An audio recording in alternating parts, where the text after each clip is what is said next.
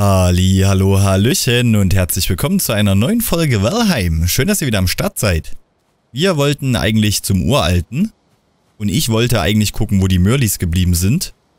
Und ja, ich habe es wie immer nicht getan, weil ich einfach nicht dazu gekommen bin. Deswegen werden wir uns jetzt noch ein bisschen Zeit nehmen und hier an der Basis was weitermachen. Aber dann versprochen, bei der nächsten Folge geht's definitiv zum Uralten. Es tut mir leid. Ich habe es nicht geschafft, Mörlis zu suchen, aber ich glaube, wir haben die sowieso alle verballert. Und deswegen ist das halt erstmal so. Wir legen uns mal ganz fix schlafen. Hätte ich eigentlich auch schon vor Aufnahme machen können. Tut mir leid. Aber ab und zu muss man sich halt auch mal ausruhen und das könnt ihr euch auch angucken. So, dann haben wir das. Jetzt geht's pennen. Und dann gucken wir mal. Ich würde eigentlich ganz gerne den Boden noch ein bisschen ebnen. So nach hinten raus zur Basis damit wir ein bisschen Platz schaffen, denn wir wollen ja zeitnah mal noch ein richtiges Hauptgebäude bauen. Weil das hier so als Hauptgebäude ist irgendwie ein bisschen doof, soll ja eher eine Werft sein, beziehungsweise auch Lager. Dann gucken wir mal, was wir oben noch machen. Deswegen gehen wir jetzt erstmal hier hinter. So, wie sieht's denn aus? Wir haben das, das, das. Dann sieht's ausdauertechnisch, naja, könnte besser sein. Aber wir haben halt gerade keine keine Mörli-Suppe. Und zwar eigentlich so ein Stückchen nach hier raus, dass wir das noch ein bisschen einebnen. Das wäre halt eigentlich ganz cool. Wird wieder ein bisschen langweilig, es tut mir leid. Wer gar keinen Bock drauf hat, sich das hier anzugucken, dann einfach nächste Folge wieder einschalten. Aber es muss halt auch manchmal sein. Und jetzt nochmal in den Sumpf zu rennen bringt nichts, weil das schaffen wir in einer Folge sowieso nicht. Das zieht sich ja meistens über zwei Folgen. Und zum Uralten jetzt reisen ohne Mörli-Suppe ist auch nicht wirklich ideal. Also müssen wir uns hier noch ein bisschen die Zeit vertreiben, bis die Möhrchen da vorne gewachsen sind. Deswegen kümmern wir uns mal hier rum. Wir machen den Boden ein bisschen gerade. Aber es geht, ne? Wir verbrauchen echt nicht so viel Ausdauer und unsere Regeneration ist relativ gut. Deswegen ist es eigentlich soweit ganz in Ordnung. Wir machen uns jetzt hier ein bisschen Platz nach hinten, dass das gerade wird. Dann können wir den Zaun erweitern. Und dann kommt halt hier nochmal so ein Hauptgebäude hin. Und dann soll es das mit der Basis auch erstmal gewesen sein. Früher oder später werden wir bestimmt noch irgendwas Schönes bauen. Aber so aktuell reicht das eigentlich vollkommen. Dann können wir nämlich auch endlich mal ein bisschen mit Stein bauen und ein bisschen größer. Und da werden wir dann den Gemütlichkeitsfaktor ins Unendliche treiben. Ich bin mir gar nicht sicher, aber ich glaube 24 Minuten ist das höchste. Aber ich will auch nicht lügen, aber irgendwas in die, ich sag mal zwischen 22 und 25 Minuten waren es, glaube ich. Was aktuell das höchste an Gemütlichkeitsfaktor ist. Wir haben noch nicht alles dafür freigeschalten, aber das machen wir noch. Und wieder schönes Wetter. Wir haben echt Glück, ne? Es ist jetzt die, weiß ich nicht, dritte, vierte, fünfte Folge wo das Wetter mit uns ist. Hat eigentlich auch hier gleich noch einen Vorteil. Und zwar sammeln wir genügend Stein, was wir halt so oder so dann brauchen. Ich will so die ersten paar Meter unbedingt mit Stein machen und dann oben drauf Holz. So zumindest erstmal der Plan. Ja, dann können wir halt auch einfach ein Stückchen höher bauen und alles wird besser. So, aber es geht ja eigentlich ganz fix voran. Hätte schlimmer sein können, sagen wir es mal so. Ich freue mich sehr auf das Hauptgebäude. Dann können wir nämlich hier drüben wirklich alles komplett umswitchen, dass da kein Bett mehr und so drin steht. Wir auch nicht jedes Mal erst eine Etage hochlaufen müssen, auch wenn die Aussicht schön ist am Morgen. Auf unser Boot und das Wasser, beziehungsweise das Meer. Aber irgendwie ist das halt auch so nichts Halbes, nichts Ganzes. So, wir müssen mal gucken. Wir werden immer höher, ne? Aber es geht aktuell noch. Wie sieht es denn aus gewichtstechnisch? Müssen wir gleich wieder mal zurück. Gradigen machen wir das dann später noch. Hauptsache hier ist erstmal ein bisschen Platz. Ich meine, wir müssen es nicht übertreiben, aber so ein kleines Stückchen muss schon noch. Wir haben halt hier echt mies hohe, hohe Felsen drin sah erst gar nicht so aus, wo, wir, wo ich gesagt habe, wir machen hier eine Basis. Also eigentlich ist es ja auch einigermaßen gerade. Ich glaube, sehr viel gerader kriegt man es in dem Spiel einfach auch nicht vorgelegt. Rein theoretisch könnten wir mit dem Steinmetz auch geraden Boden bauen, also halt einfach in die Höhe bauen. Dann wird es halt wirklich perfekt gerade, aber einerseits frisst das ohne Ende Stein. Und mittlerweile habe ich mich auch damit abgefunden, dass es halt nicht perfekt gerade ist. Muss es aber auch nicht sein. Ich meine, wir leben hier gefühlt im Mittelalter. Oder noch eher. Und deswegen ist das auch nicht schlimm, wenn wir mal ein paar Unebenheiten im Boden haben. Und im Gesicht natürlich auch. Bei Klerasil gab es zu der Zeit noch nicht.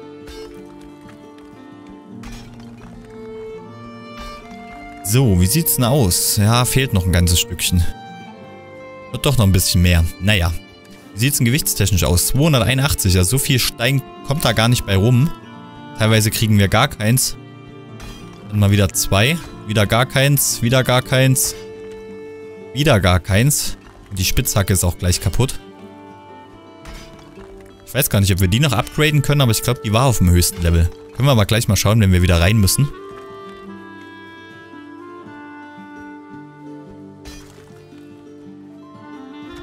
Achso, da war es kaputt.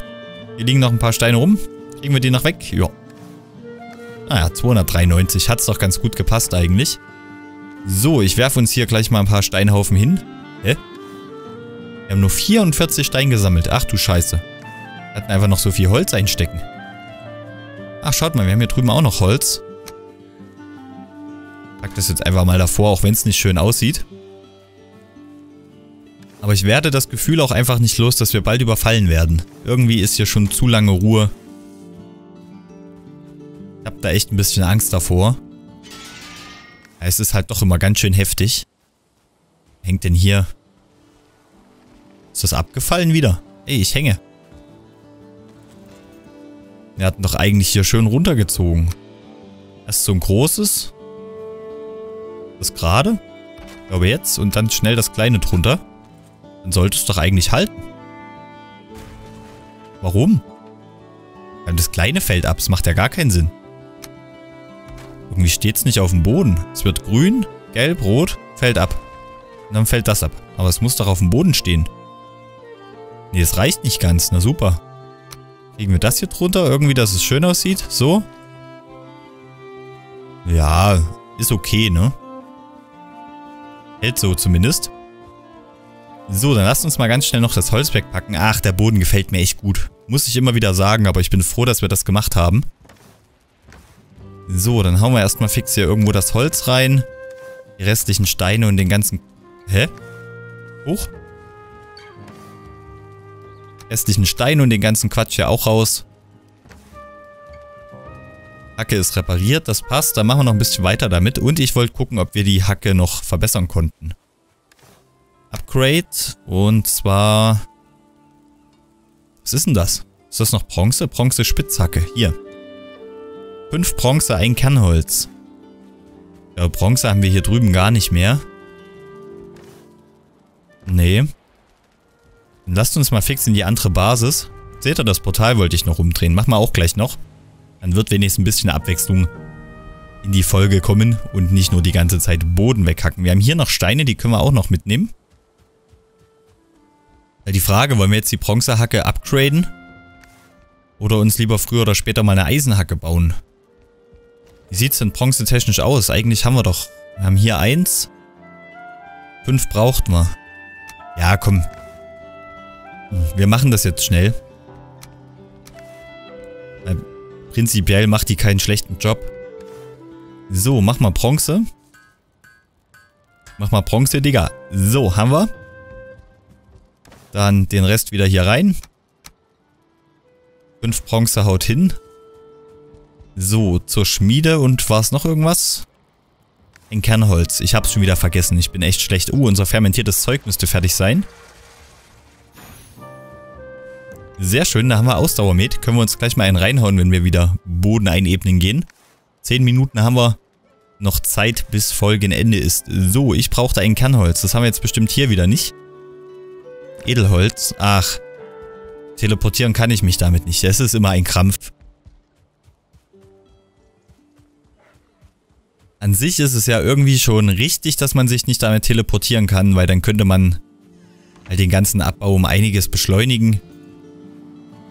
Du hast kein Arrow. Finde ich cool, dass es bis heute nicht gepatcht ist. Äh, was habe ich jetzt gesagt? Kernholz brauchen wir, ne? Äh, Kernholz war wieder dunkler Wald. Da brauche ich da gar nicht herausrennen. Mist. Ach, da müssen wir es hier nochmal in die Truhe packen, in die alte Basis, in die neue Basis zurück. Einsacken, wieder hierher. Ah, ich muss sagen, mir gefällt die Basis ja auch. Die ist zwar sehr, sehr hügelig, aber für unsere erste Basis eigentlich echt ganz schick geworden. Ja, was wollte ich sagen? Ich wollte sagen, eigentlich finde ich es ja ganz gut, dass man sich damit nicht teleportieren kann, weil sonst könnte man sich wirklich zu einfach machen, aber irgendwie nervt es auch ganz schön an. Wenn man halt in der einen Basis alles da hat, in der anderen nicht. Gerade wo wir nur eine Schmiede hatten. War das doch teilweise ein ganz schöner Krampf. So, was liegt denn hier noch? Die Augen hatte ich hier vergessen. So, sechs Kernholz, dann haut's hin. Wieder zurück. Und wir müssen unbedingt gucken, dass wir den Zaun mal noch verbessern. Dass der irgendwie tiefer ins Wasser geht, irgendwas, aber wir haben ja gesehen, Gegner kommen trotzdem rein. Das ist nicht Sinn und Zweck der ganzen Geschichte. Und dann fangen die halt gar nicht erst an, den Zaun anzukloppen. Und somit ist alles komplett sinnlos. So, Bronzehack auf die 2. Was bringt es uns? Stechen. 30, 14 bis 23. Und wir haben jetzt 25, 12 bis 19. Naja, dann Attacke. Bräuchten wir nochmal 10 Bronze. Lassen wir aber. Wird mir dann doch ein bisschen zu teuer. So. Ja gut, dann passt das. Dann machen wir uns wieder zurück. Dann drehen wir erstmal das Portal um, weil das geht mir richtig auf die Nerven. Halt eine Überlegung, ob man vielleicht auch irgendwann mal noch ein Portalhaus baut oder ob wir das vielleicht sogar mit in unser Haupthaus integrieren. Dass man halt überall auch so cool mit Schild hier drüben beschriftet, überall so einen kleinen Raum, wo bloß das Portal drin steht, würde bestimmt cool aussehen. Weil irgendwie hier drin, das sieht ganz schön verloren aus. So, dann machen wir hier schnell ein Portal. Wir drehen es rum. Wir lassen es jetzt erstmal hier. Aber vielleicht dann im Haupthaus. Würde ja Sinn machen. Wir haben mittlerweile relativ viele, drei Stück und es wird natürlich auch nicht weniger werden. Deswegen könnte man das früher oder später schon mal tun. So, wir sind immer noch ausgeruht. Essenstechnisch wird es langsam ein bisschen mager. Und wir hauen uns jetzt einfach mal so ein Ausdauermet rein. Zwei Minuten Gitter. Dass wir hier wirklich ordentlich durchklopfen können. Aber die Regeneration reicht trotzdem noch nicht komplett. Bin mir gar nicht sicher, ob die überhaupt schneller ist gerade. Wahrscheinlich schon, sonst würde der Met keinen Sinn machen. Ist aber auch nur geringe Ausdauer. Aber so kommen wir zumindest mal doch ein Stück weiter. Hacke ist voll repariert, also können wir hier komplett ausrasten. Und durchhacken.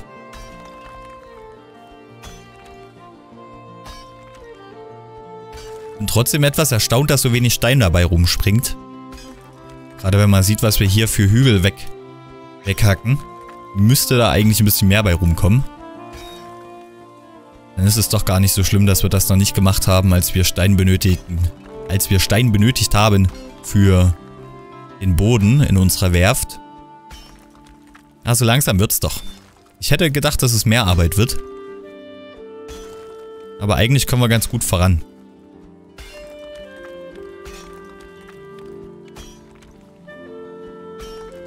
Wie gesagt, früher oder später hätte ich halt ganz gerne wirklich noch Wasser drumherum, weil das ist dann einfach das sicherste. Dann kann hier kommen, was will, auch Trolle und so weiter, die bleiben einfach alle schön im Wassergraben hängen. Das werden wir auch früher oder später noch machen, aber jetzt steht erstmal der Knochenwanst auf der Prioritätsliste. Dass wir hier mal ein Stück weiterkommen, dann haben wir den dritten Boss besiegt. Und ich muss ganz ehrlich sagen, wir sind mittlerweile bei irgendwas um roundabout 75 Folgen. Ich merke es mir leider immer nicht, es tut mir leid. Aber irgendwie sowas, 75, 76. Und es macht mir immer noch extrem viel Spaß, ne? Also ich habe noch nicht einen einzigen Tag gehabt, wo ich dachte, ich habe die Schnauze voll vom Spiel. Und ich habe so viel Pläne im Kopf, was man alles noch machen will. Es dauert halt alles immer sehr, sehr lange. Aber irgendwie fühlt es sich nicht so krass nach Arbeit an. Es gibt ja so Spiele, wo man dann einfach keinen Bock drauf hat, weil man weiß, jetzt muss man erstmal eine Stunde lang das sammeln, eine Stunde lang das sammeln. Effektiv macht man das zwar in dem Spiel hier auch, Aber irgendwie macht's Spaß. Also ich kann nicht erklären, woran es genau liegt. Aber selbst das jetzt hier ist jetzt nicht so, dass ich mir denke, äh, kein Bock drauf. Oder selbst wenn ich mal Holz sammle. Irgendwie macht's trotzdem, trotzdem Laune. So, wir haben schon ein ganz schönes Stück rausgeholt. Gewichtstechnisch geht's noch. Hacker hat noch fast die Hälfte. Wir ziehen jetzt hier einfach noch bis Ende der Folge durch. Fünf Minuten müsst ihr noch aushalten. Und dann müssten ja hoffentlich bald mal die Murleys fertig sein. Ansonsten lasse ich einfach das Spiel mal an. Während ich noch... Also, ich lasse es eingeloggt, sagt man es mal so, dass hier die Zeit ein bisschen vergeht, dass die Murleys fertig werden. Dass wir dann zur nächsten Folge wirklich einsammeln und ab aufs Boot können. Ja, so komplett reicht es noch nicht. Ein bisschen müssen wir noch.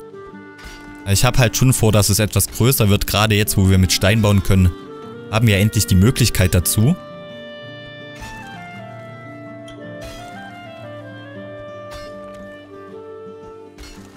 Also nutzen wir das natürlich auch. Müssen mal gucken, wir werden auf jeden Fall immer höher. Müssen dann irgendwo hier mal wieder anfangen, auf den Boden der Tatsachen zurückzukommen. Also kriegt man natürlich, obwohl wir kriegen hier auch Stein. Dass wir hier mal so einen geraden Weg ziehen das dann auch alles mal wieder ein bisschen runterarbeiten. Ja, sind schon wieder ganz schön hochgekommen. Kommen auch jetzt schon wieder ein Stück höher, glaube ich. Naja.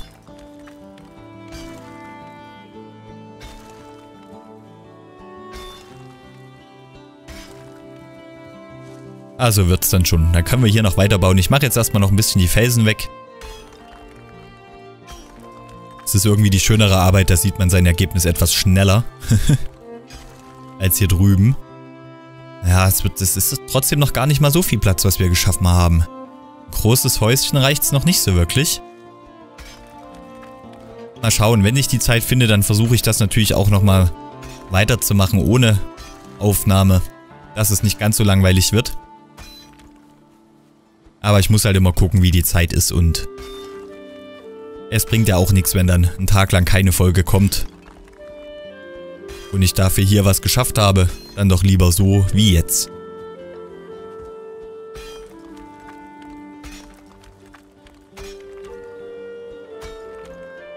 Ich hoffe mal, dass die Aufnahme einigermaßen okay klingt, weil es schüttet wie aus Eimern draußen. Es ist wirklich Wahnsinn. Von jetzt auf gleich kam hier auf einmal ein riesen Regenschauer. Ah, ich denke mal, man dürfte es in der Aufnahme nicht hören. Und wenn doch, dann tut's mir leid. Dann hört euch das abends zum Schlafengehen an. Müsst ihr keine teuren Regengeräusche, DVDs, CDs kaufen. So, wie stehen wir denn? Bei 18,5 Minuten. Wir können mal noch hier kurz eine Minute rumklopfen. Dann bringen wir den Mist noch schnell in die Kisten. Ich wollte eigentlich die Steine noch mitnehmen aus der alten Basis. Habe ich natürlich wieder vergessen. Und dann machen wir erstmal Schluss mit der Folge. Und dann schauen wir mal, wie wir die nächste Folge beginnen.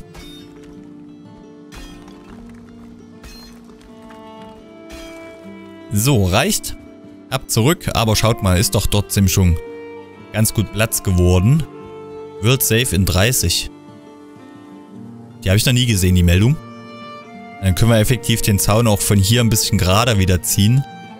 Und dann wird das nämlich doch schon etwas mehr Platz. Perfekt ist es noch nicht, muss noch ein bisschen was gemacht werden, aber es geht mal in die richtige Richtung. So, haben wir jetzt 50 Stein zusammen. Wir haben 50 Stein zusammen. Pack die jetzt einfach mal mit hier hin. Mörlis sehen irgendwie noch gar nicht so fertig aus. Okay, Welt gespeichert. Also war das wirklich ein Hinweis, dass in 30 Sekunden die Welt gespeichert wird. Habe ich noch nie vorher gesehen. Ich weiß nicht, ob ich es jedes Mal überlesen habe. Ich mir aber eigentlich nicht vorstellen kann, so groß wie es da gestellt wird. So, dann machen wir erstmal Schluss mit der Folge. Nächste Folge, hoffentlich Knochenwanst. Zumindest auf dem Weg erstmal dahin. Ich glaube nicht, dass man direkt sehen werden. Und jetzt weiß ich wieder, was ich googeln wollte. Wir brauchen ja irgendwas, um den Knochenwanst zu beschwören. Da schaue ich nochmal. Vielen Dank fürs Zuschauen. Morgen 19 Uhr geht's weiter. Bis dahin. Macht's gut.